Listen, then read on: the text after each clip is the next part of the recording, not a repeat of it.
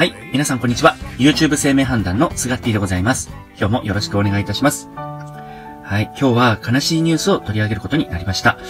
福岡5歳児餓死事件において、ま、逮捕されましたこの母親と、あとこのママ友ですね、一緒に逮捕されました。それと、え虐待死した5歳児の、その3人のですね、生命判断をしてみたいかと思います。まあ、スガッティチャンネルでは、日頃、まあ、芸能ニュースとか、まあ、今日のようなこういった悲しいニュースとか、あるいはおめでたいニュースとか、様々な出来事やニュースを、まあ、生命判断という観点から取り上げて、まあ、その画数の検証をしているチャンネルなんですけれども、まあ、どうしてもこういった悲しい事件を、まあ、取り上げますとですね、まあ、不謹慎だとか、亡くなられた方に、まあね、失礼だとかっていう風な声もいただくんですけれども、あの、まあ、それはもう、もちろんね、重々承知なんですけれども、一応やっぱり生命判断っていうのは、まあ、今後、これからですね、生まれてくるであろう、えー、赤ちゃんとか、あるいはこれから立ち上げるであろう会社とかブランドとかね、えー、商品名とか、えー、バンド名、コンビ名、グループ名とかね、そういった諸々のネーミング、そこには、えー、画数の特徴というのが影響するもんですから、まあ嬉しいニュースだけ取り上げるわけにいかないんですね。だから、まあ今回のような悲しいニュースも、そして時には嬉しいニュースも、それぞれ均等にですね、扱って、良い数字、悪い数字、その特徴をですね、確実に裏付ける。それが目的なんですね。それによって、今後、まあ皆さんのもとに生まれる赤ちゃんのですね、お名前に、え大吉ネームを名付けられることになるわけで、なので、やっぱりね、こう、悪い数字はどうして悪いのかっていうのを、あの、検証しなきゃならないんですよね。なので、まあこうやって、まあね、犠牲になった方とか、まあ逮捕された方とか、そういった、特にね、今回なんかは犠牲者が小さなお子さんですから、まあそういったお子さんの、その、まあね、画数がいいだの悪いだのって、評価することになるわけなんですけれども、まあそういった動画がですね、不快に感じる方は、もうあの、もうこの場で、あの、見なくていいです、この動画をね。そういう、例えばこのニュースを詳しくお伝えするとか、ニュースの裏側とか、その、亡くなられた方を慰めるとか、そういう動画じゃないんですね、これね。あの、あくまでも、シビアに画数の検証をしたい人だけがご覧になっていただければいいかと思いますんで、スガッティ門下生はですね、まあ、こういった悲しい事件も、えー、嫌な事件も、そして嬉しい事件も、おめでたい事件も、みんなですね、平等に扱って、まあ、その数字の特徴を冷静に分析する能力をトレーニングしていただけたらいいかなと思います。ちょっとニュースを読み上げてみましょうか。えー、福岡の5歳児餓死。母親はママ友に1000万円の被害。福岡で母親らが5歳の息子を餓死させたとされる事件で、ママ友の女が母親から1000万円を超える生活費などを騙し取ったとみられることが分かりました。逮捕された母親の碇理恵容疑者39歳と友人の赤堀恵美子容疑者48歳は、去年、福岡県、なんて読むんだこれ、福、ん？福岡県し、篠栗町っていうのかな？で、5歳だった三男の翔士郎ちゃんに十分な食事を与えず餓死させた疑いが持たれています。離婚した碇容疑者に対し赤堀容疑者は、食事の制限を指示した上、元夫との裁判費用などと嘘を言って、生活費を繰り返し要求。合わせて1000万円以上を騙し取ったとみられ、これらのお金でブランド品などを買っていたということです。とのことで、まあ、こちらが事件の相関図なんですけれどもね。もう本当に謎でしょうがないですよね。まあ、この二人が、なんか同じ幼稚園か何かで、ママ友同士で知り合ったと。で、このママ友の赤堀容疑者が、この、碇、母親ですよね、碇理恵さん容疑者に、その、旦那が浮気してるらしいよと、嘘を言って、で、離婚してしまった。その離婚費用として1000万円騙し取った。まあそこまでは、まあね、100歩譲って、いわゆる詐欺事件ですから、まあね、なくはないやね。問題はそこからですよね。なんで、この食事などを支配できるのかっていう話ですよね、この人が。そんなに子供にご飯あげちゃダメとかって言って監視カメラで監視してるわよ、なんつって。で、もうね、亡くなる直前はもう水しか与えられてなかったそうで、まあ5歳なのにね、12キロとかって、もうガリガリに痩せちゃってたわけでしょ？それを、どうしてこのお母さんも判断できなかったのかも不思議だし、お兄ちゃんもいるわけですよね、二人もね。この子たちはまあどうしてたのかちょっと謎ですけれども、こんなデブにね、そんな食べちゃダメなんて言われる筋合いないわけで、どうしてそこまでマインドコントロールってできちゃうもんなのかなって、すごくこう、謎が謎を呼ぶ事件ですよね。本当に犠牲になってしまったこの5歳、えー、翔士郎ちゃんですけれども、本当に気の毒でならないですよね。親を選べないですからね、子供はね。はい。えー、まずはこの犯人というか、まあ、ことの発端はこのデブなおばさんですからね。じゃあこの容疑者から、えー、まず数列を検証してみましょうか。こちらでございます。えー、赤堀恵美子。えー、総角が42角ですね。42角は、先日、もうつい先日ですね、何日か前にスガッティもこの、えー、チャンネルで動画を配信させていただいたこちらの動画。はい。まあ、飛び降り自殺を偽装して、奥さんをマンションの9階からね、転落死させた疑いで逮捕された事件ありましたよね。それの、まあ、犠牲になってしまった奥さん。その画数がやっぱり42画なんですね。転落崩壊数と言って、まあ、基地か強で言うとしたら、もう最強数です。最強っていうのは強いじゃなくて、最も悪い。大強中の大強という意味の最強数です。上から見てみましょうか。まあ、丸1番はね、影響しないですから、丸2番。これが男性的とかね、俺流の23角。この数字を持つと、もうみるみる色気が失せて、女らしさが失って、こうおじさんみたいなおばさんになっちゃうんですね。おじさんおばさん数という数字です。そして次が19角。これが水商売数ですね。えー、まあとても、えー、メンタルが不安定な数字だったりします。そして丸4番、えー、最強財運数、お金に守られてる数字ですよね。そして総角が転落崩壊数の42角でございます。まあ、この容疑者ね、旧姓はちょっと不明なんですけれども、まあ結婚後にこのようなね、大凶ネームを名乗ってしまうと、まあみんながみんなもちろんこんな悪事を働くとは思いませんけれども、もう人生のシナリオとしてもう大凶人生になっちゃうんですね。だから、もしね、皆さんも、この結婚して名字が変わったりして、で、名字が変わったらこういう画数になっちゃうんですけど、みたいな場合はですね、ちょっと心配ですんで、なので、必ずスガッティに生命判断ご依頼するようにしてください。何か、こう、ちょい足しアレンジするとかなんかして、必ずね、大吉ネームにアレンジしてあげますんでね。はい。続きまして、えー、母親ですね。碇理恵容疑者。この人は、まあ、結婚していて、で、離婚されてるんですね。で、離婚して自分の、まあ、旧姓に戻ったんだと思うんです。まあ、戻ってないんだとしたら、ちょっと旧姓はわかんないんですけれども、まあ、ちょっとね、インターネットで調べますと、もしかしたらこの人の旧姓はこれなんじゃないんかっていうのが、まあ、あの、出てたりはしましたけれども、ちょっとその辺の情報はね、不明というか、確実じゃないんで、まあ、今回はこの、怒り、リエっていうね、画数だけで見てますけれども、こちらでございます。えー、総角は32角、棚からぼたもちのラッキー数なんですね。まあ、総角で言ったら大吉数なんですけれども、でもやっぱり、まあね、上から見ますと、この丸2番、えー、人生の軸になる内角の位置には、何事もすべて水の泡にしてしまうリセット数20角がありますよね。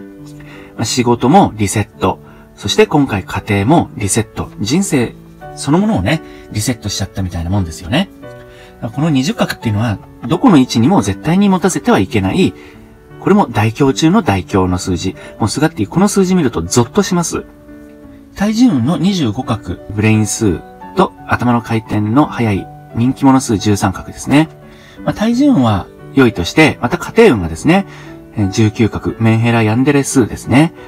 なので、これ19角同士の、あの、類友なんですね。ママ友になってますけれどもね。かなり、こう、メンタルが不安定で、感情の起伏が激しく、ちょっと、まあ、あんまり休憩列ばっかり持つと、えー、なんていうかな、こう、精神疾患とかね、なっちゃったりするんですけれども、で、先ほどほら、インターネットで調べると、もしかしたらこの人の旧姓これなんじゃないんかみたいな、出てたって言いましたけれども、それで数えるとね、これ、9系列が3つと、そして0系列が2つっていうね、とってもヤバヤバな画数なんですよ。結婚してそのようなね、画数を名乗ってしまっていたことで、かなりね、結婚後、人生がガタガタガタってこう、音を立てるように崩れていってるんですね。で、2019年だからまあ1年ちょっと前ぐらいに、またね、旧姓に戻ったらしいんですけれども、結婚してね、この人も、まあ9系列と0系列しかないような、まあ、数列になってしまったことで、まあね、人生台無しにしちゃいましたんで、やっぱり結婚っていうのはとっても大事なので、人生の後半をですね、ハッピーにするかアンラッキーにするかの、もう本当にターニングポイントになりますからね。だからまあ男性だって結婚して名字変わる場合ありますよね。あるいは、まあこのように、この人もそうでしょうけども、離婚して、そして自分の旧姓に戻るような場合、まあこの人の場合は旧姓の方がまだマシなんですね、この方が。とはいえ、やっぱりお子さんが3人いたわけでしょ、この人。だから、その子たちが同じようにこの怒りの名字にさせられちゃったりなんかすると、間違いなく代表になるんですよね。で、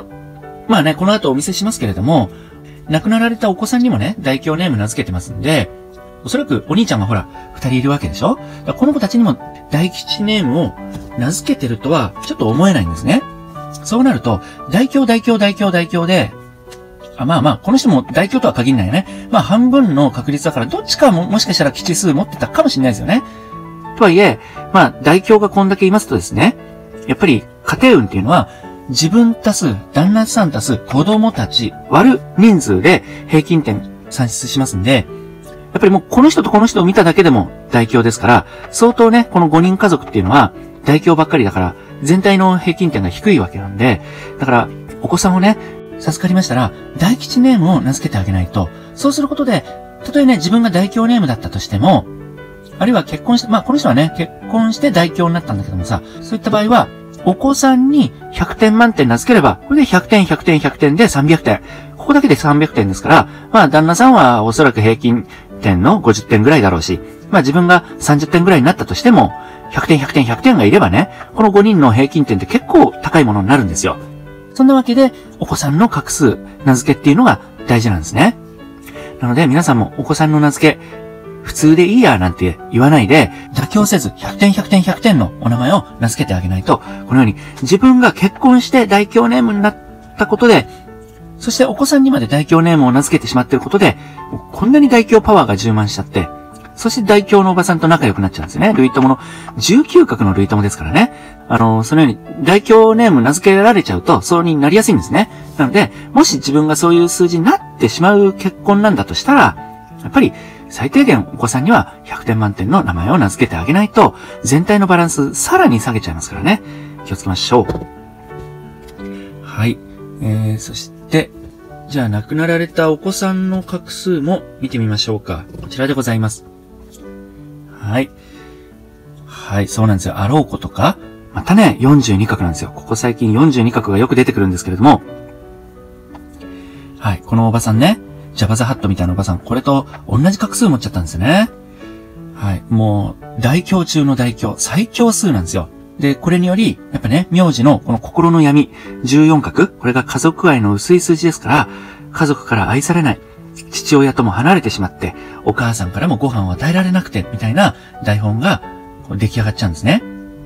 まあ、この名字足す名字っていうのは通常影響しないもんなんですけれども、このように似たような特徴を持つ数字をその他の箇所に持ってしまうことによって、まあ、この子で言うと30とか42とかね、持つことによって、この似たような特徴の箇所が、こう、色濃く影響してきちゃうんですね。そしてお母さんもそうなんですよ。お母さんもこの14は、やっぱりこのようなね、19とか20とか、同じように離婚しやすい、家庭運の薄い名前で生まれてしまったことで、お子さんを愛せない数字になっちゃうんですよね。まあ、精神的にもおかしくなっちゃうんです。これ19角精神疾患の数字ですからね。もう最後の方は挨拶すらしないとかって言ってましたもんね。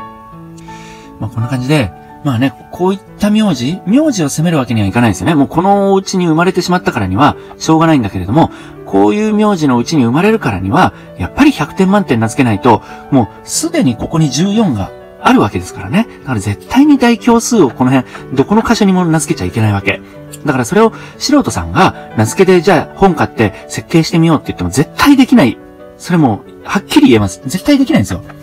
なので、間違ってこういう名前ね、名付けちゃうと、こういうことになっちゃいますから、ほんとごめんなさいね。もう、亡くなってしまった5歳のね、男の子をさ、こんなことになっちゃいますなんて言って、悪い例としてあげるのは、本当に申し訳ないんだけども、でも、こういった悲しい事例をですね、二度と繰り返さないためにも、日々、こうやって画数の検証をして、皆さんと一緒に、こういう数字気をつけましょうね。こういう数字がいいよねっていう風にね、えー、一緒にみんなで、えー、検証し合って、で、この生命判断というか、画数診断、これをですね、確立していきたいなと思ってるんですね。なので、スガッティ文科生の皆さんはですね、それぞれ皆さんもこれを占ってみて、スガッティと違う意見があってもいいんですよ。その分析っていうのはもうそれぞれだと思ってますんでね。で、この子ももしかしたら出生名が、ほら、結婚してた当時の、こっちの名字の翔二郎くんかもしんないんですよね。その辺は、名字が変わったかどうかも、定かじゃないから、なんとも言えないんだけれども、一応ネットで出回っている、これなんじゃないかっていう名字を見たところ、この子も休憩列ばっかりだったりしたんですね。お母さんと同じで。だから、まあ、そのようにね、まあ、間違った名付けをすると、このような事件に発展してしまう場合がありますんでね。全員が全員じゃないですよ、もちろんね。でもかなり確率が高いんですよ。生命判断っていうのは統計学ですから、えー、こうなりやすいなっていうね、えー、統計を取ってるのが生命判断なので、やっぱりね、こういう大凶グループには気をつけないといけないんですね。なので、スカッティは自分の身の回りをみんな大吉にしてあげたいの。もちろんね、代表ネーム、誰しも持ってるんですよ。だから、そういった代表数を、ちょい足しアレンジでね、変えて、で、大表ネームにアレンジすることできますから。なので、皆さんもですね、お気軽に、スガッティにご依頼ください。今はちょっと、YouTube 生命判断はお休み中ですけれども、またね、いつか再開したいなとは思っていますし、まあ、ちょっと YouTube 生命判断は無料でもちょっとお時間かかってしまいますんで、えー、LINE 占いや来店占いだったら、まあね、そんなにお待たせしませんので、ぜひ皆様からのご依頼をお待ちしております。皆さんのですね、身近で、まあこれから出産を控えてらっしゃるようなママさんいらっしゃいましたらですね、必ずスガッティを教えてあげてやってください。皆さんの身の回りを大吉ネームで揃えること、固めることによって、皆さん自身が大吉パワーで守られるっていうことになりますからね。だからスガッティもみんなに大吉になってほしいのは、まあ、スガッティのためでもあるの。スガッティが身の回り、自分の周りをみんなで大吉で固めることによって、自分の周りが大吉パワーでね、充満してくれるんですよ。だから皆さんも自分の身の回りに、そういったね、赤ちゃん、これから出産控えてらっしゃるような、お友達とか大切なご親族とかいらっしゃるようでしたら、みんなを大吉にするためにも、必ずスガッティにご依頼ください。はい、今日は以上となります。最後までご視聴ありがとうございました。亡くなられたこの翔士郎くんのですね、ご冥福をお祈り申し上げます。それではまた次回お会いしましょう。